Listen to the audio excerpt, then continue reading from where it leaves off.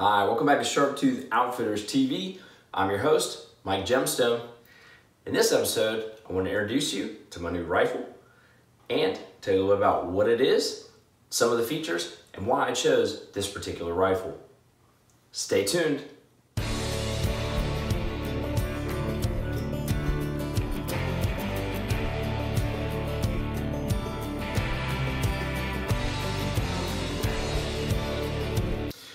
All right, ladies and gentlemen, I'm excited. I've been waiting for this moment for quite a while. I've had this rifle and I haven't even taken it out of the box until now. Um, I've had it for a few weeks and I wanted to wait until I had everything together and was ready to start shooting these videos uh, before I brought it out. So I'm excited. Here it is. Um, before we get into anything detail, I want to make sure, of course, that my firearm is safe and unloaded. Um, so you will not see any ammunition here on the table.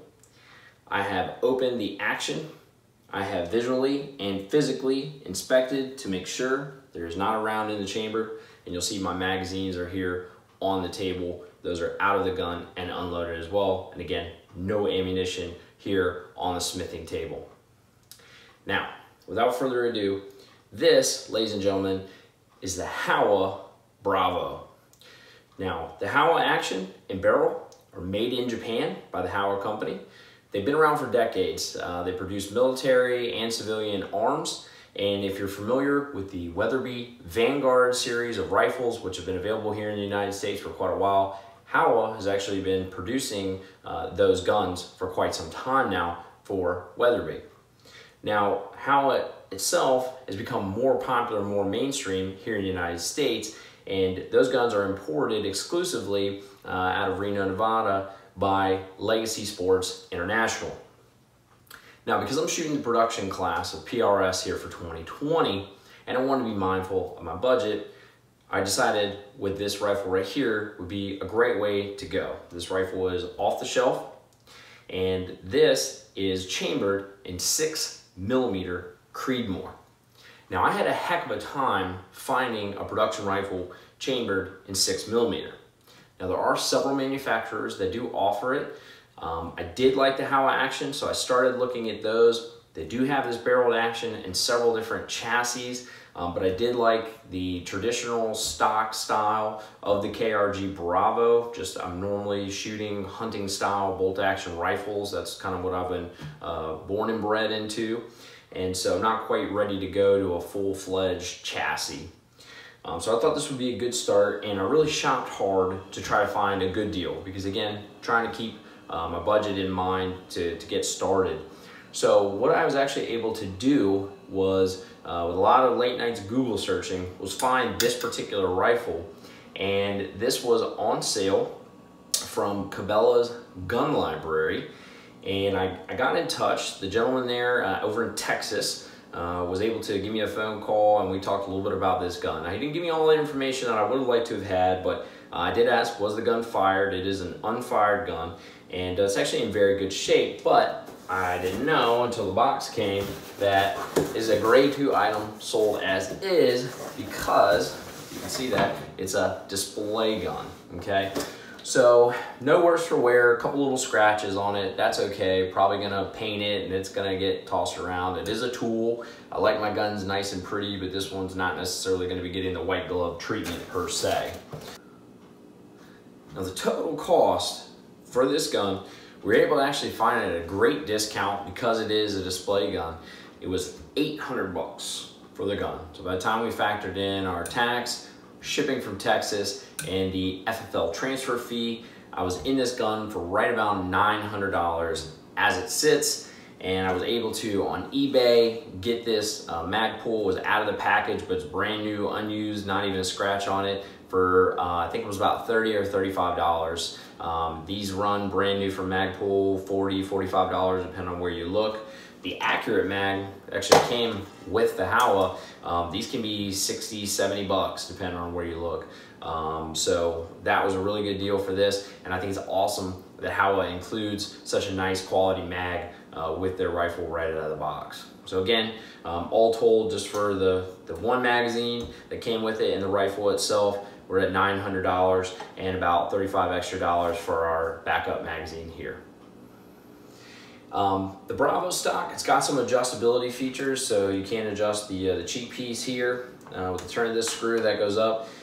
And as far as for your length of pull, and for any of you new shooters, your length of pull is going to be the measurement from the butt of the rifle that goes up against your shoulder to the trigger. So, you can see, again, rifle's unloaded. When I take the gun down my shoulder to my grip to my trigger finger here. Now, the rifle and the chassis from Legacy is supposed to come with three uh, shims, spacers, if you will, that will change the length of pull to get this custom fit for me. Okay, so I can adjust my cheek piece here for my cheek weld, and I can also adjust my butt pad for my length of pull. Now I got long gangly arms, even though I'm kind of short, so I definitely need to add something to give me a little bit longer length of pull. Now because this was a secondhand gun, um, it did not come with the spacers. So I'm going to, instead of ordering them from KRG and spending extra money, I spent a couple of dollars to get some longer bolts from the hardware store. And I'm actually just going to use a piece of wood and we'll do another video where I'm actually just gonna make a wooden spacer to go in there and that'll tide me over. So a little bit of redneck engineering there to get my length of pull proper. Um, the other thing I do like about this chassis, so with a chassis uh, rifle, there is an aluminum frame, an aluminum spine, uh, if you will, backbone, that's inside of our um, plastic material for the stock, and our action mounts to that rigid aluminum frame, kind of like a skeleton, if you will. What that allows is a very nice rigid lockup for our receiver to the chassis inside of our stock. This also allows the barrel to be free floated. So this barrel, starting about here, is not touching any of the stock underneath. Now, if you're not familiar with free floating of barrels, it's a very effective way to accurize just about any firearm. The barrel, when the projectile is leaving the gun and going down the barrel, it creates vibration. The barrel needs to be able to freely go through those vibration cycles, if you will, without being encumbered, and therefore having that space in between the stock and the barrel allows that vibration to take place without interruption. Now, if you have an older style wood stock gun, like a hunting rifle, your, your favorite deer rifle, um, and you're having a little bit of trouble getting it to shoot properly, you may be well served removing a little bit of that wood and doing what we call a bedding job to get your receiver to sit properly in that stock with a nice rigid lockup and free float that barrel. Um, there are some videos uh, that you can see, some articles that you can read on how to do that. Uh, and of course, when in doubt, take your rifle to a competent gunsmith who can handle that for you. Um, so with that being said, pretty neat rifle here. Um, some of the things that I intend to do, we talked a little bit about adding the spacer in at the back. Um, I will, you can hear, makes me cringe a little bit. This is running pretty smooth in here, if you will, but because everything is Cerakoted and brand new, it hasn't really had a chance to break in and smooth out these surfaces. So I will put a very mild lapping compound in here to help to smooth this out which actions naturally will smooth themselves out, but that could take, you know, a thousand or so, um, cocking and decocking and sliding that bolt in and out of the receiver. Um, so I'll just put a little bit of compound in there to help speed that up. And um, also we'll lap the face of the bolt and that will make for a nice, tight, square lockup uh, inside my receiver with my locking lugs on my bolt. We'll do a separate video to show you that process um, and what you can do to help get that situated.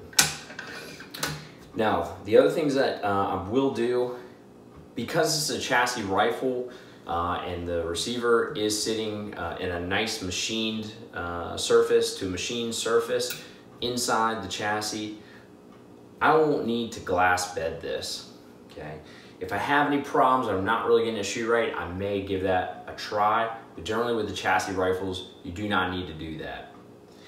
I will, however, be modifying this trigger a little bit. Now, per the rules of Precision Rifle Series, and I highly recommend you check those out yourself, you have to use the factory trigger that comes with the gun.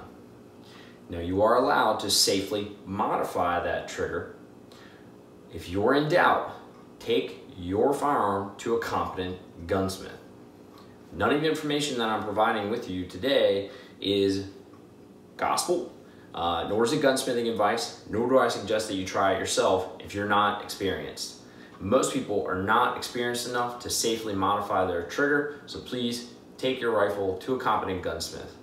The original trigger must stay in to qualify for production, uh, but you can modify that trigger. Generally, out of the box, these Howas will have about a three and a half to a four pound trigger pull. They are pretty nice triggers, pretty crisp, pretty consistent, but I think what we can do is lighten that down a little bit, get it to maybe about a two pound uh, trigger. That's a nice comfortable trigger pull for me and uh, see if that doesn't help us out a little bit accuracy wise. Now, some other features of the gun. Um, there is a space here, like you see this on a lot of like, let's say the Magpul um, AR-15 stocks. You have the empty space in the grip. Um, this also has an empty space. There's a compartment here. Um, probably won't use that for anything. I will have my range bag with me when shooting, and this will be hard to get to. Um, I'd rather have everything handy uh, in my range bag, um, but I will probably fill this space and some of the other voids that are in this stock with some sort of filler material to add some weight to this gun because you do want to have a little bit of heft. It helps with the recoil and helps you stay on target. Now the other feature uh, this gun has is this does have, you can see here, this does have a threaded barrel.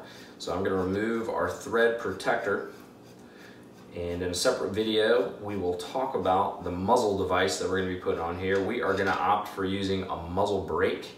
And so that will thread on here to the barrel. And always be mindful, this is the crown of your barrel. And uh, a lot of accuracy problems start right here. The crown is a very fragile part of your firearm. You need to really make sure that you take care of that. That's the last point of contact when your bullet exits your barrel. If you have a nick uh, or a burr on your crown, that's what's gonna be the last thing that touches that bullet. And obviously that's gonna have a negative impact on your accuracy downrange. So I highly recommend that you be very careful uh, when you're handling your rifle and make sure you take very good care of the crown of that barrel.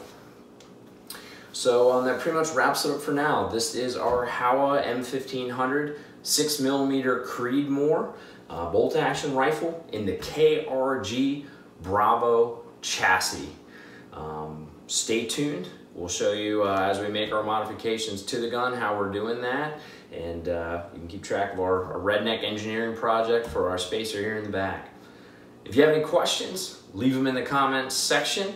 If you have a, Howa M1500, especially in the 6mm Creedmoor, uh, whether it's in the Bravo chassis or they do offer it in several other chassis configurations. Leave some comments. Let us know what kind of luck that you've had with your Howa and uh, the results. We'd love to see those, uh, those targets. So again, leave your comments, leave your questions, hit that thumbs up button, give us a like, and make sure you subscribe so that way you can get our new videos as they come. We'll be putting them out daily dealing with our rifle, our hand loads, and um, the accessories that we're going to be using. In our next couple of videos, you're going to see we'll attach our rail, our mounts, and cover and talk about our scope, all that good stuff. Thanks again for joining us, Sharptooth Outfitters TV. I'm your host, Mike Gemstone. Take care. Good shooting.